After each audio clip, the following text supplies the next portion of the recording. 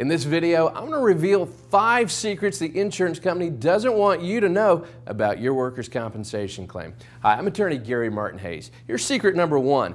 You have 30 days in which to report your on-the-job injury. Now, sometimes an employee gets hurt at work, but they assume it's just going to be a minor injury and they'll get better. But after a couple of days, the pain worsens, so they report the incident to their supervisor.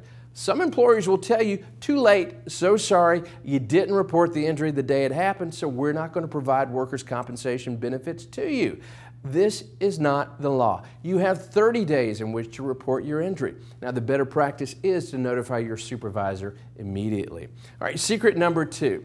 Your employer is required to post a list of doctors from which you get to choose the doctor that you would like to provide treatment to you. The panel must have six doctors listed on it, and one of the six doctors has to be an orthopedic surgeon, and no more than two of the six can be industrial clinics.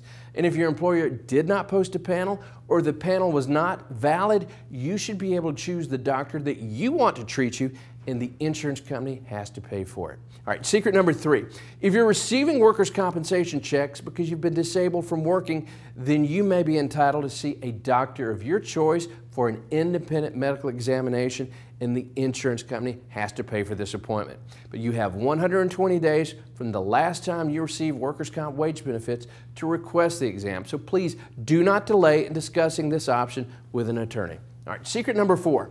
Did you know that you're entitled to be reimbursed for your mileage to and from your medical appointments? This includes not just the mileage to your doctor's appointments, but also mileage to therapy to pick up your prescriptions and parking fees. All right, secret number five.